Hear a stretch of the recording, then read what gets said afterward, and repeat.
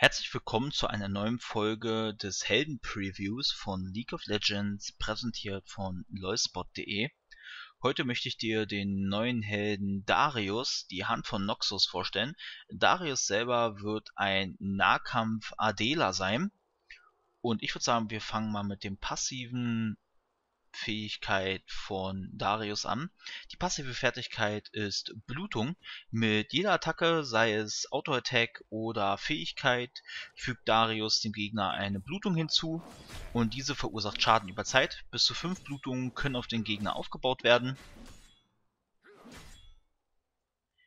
Darius erste Attacke ist das Dezimieren. Das ist eine AE-Attacke, die einmal um 360 Grad von Darius gewirkt wird. Im äußeren Kreis verursacht Darius mehr Schaden, im inneren Kreis verursacht Dezimieren 50% weniger Schaden. Und daher sollte man probieren, den äußeren Ring zu treffen. Darius zweite Attacke ist der verkrüppelnde Schlag.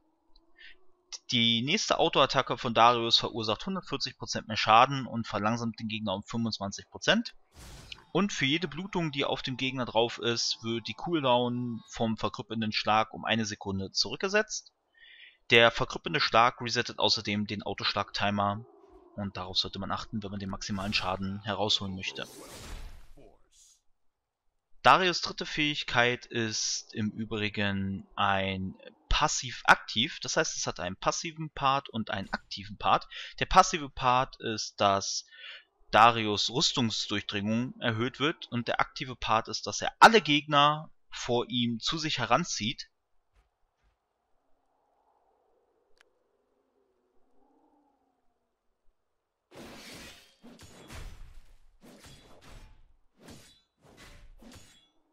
Darius Ultimate ist die noxische Geolutine, eine Fähigkeit, dessen Schaden erhöht wird, desto mehr Blutungen auf den Gegner drauf sind, jede Blutung verursacht 20% mehr Schaden, bis zu einem maximalen Schaden von 329.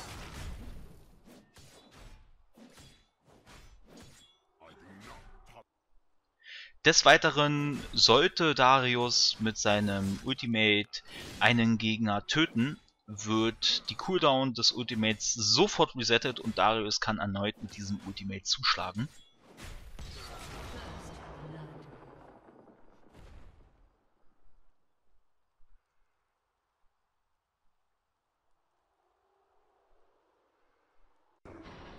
Darius Probleme am Anfang sind relativ einfach. Er hat zwei Hauptprobleme am Anfang des Spiels.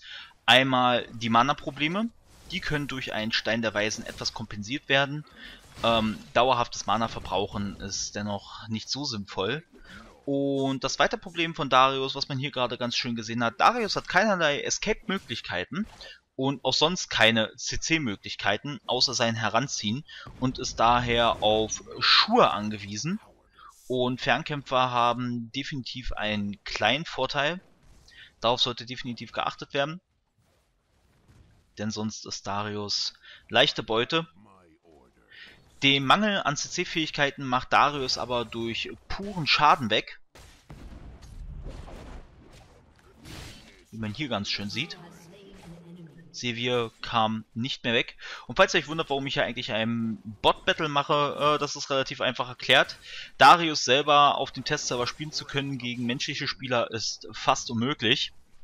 Und somit sah ich mich leider gezwungen, ein Bot-Battle zu fahren. Aber das erfüllt auch seinen Zweck. Ja, hier probiert Sevier zu entkommen, schafft es aber auch, weil ich kein Ultimate Ready habe.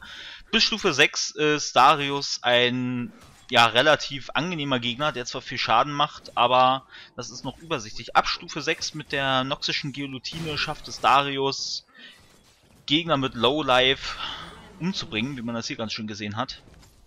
Tristana Mobito noch wegzukommen, hat es dann aber nicht überlegt, dank den Ultimate. Wie schon gesagt, Darius größte Schwäche ist ganz klar zwei nah äh, Fernkämpfer gegen sich zu haben. Wie man das hier sieht. Glück für mich, dass Shogat zurückkommt und Sevier tötet. Und auch Tristana wird es nicht überleben. Ähm, das Problem ist bloß leider, ich hatte zu wenig Leben und der Turm war dann mein Ende. Das Interessante wirklich bei Darius ist, dass ähm, er Kämpfe umdrehen kann, dadurch, dass die Gegner Low Life haben, wie man das hier bei Meisterhaar sieht. Meister da bleibt überhaupt nicht lange am Leben, dank meines Ultimates. Und ich kann Nunu ebenfalls noch relativ schnell runterziehen, um eben halt mein Ultimate anzubringen. Was ja gleich wieder ready war durch den vorigen Kill. Und somit ist Darius ein exzellenter Killer.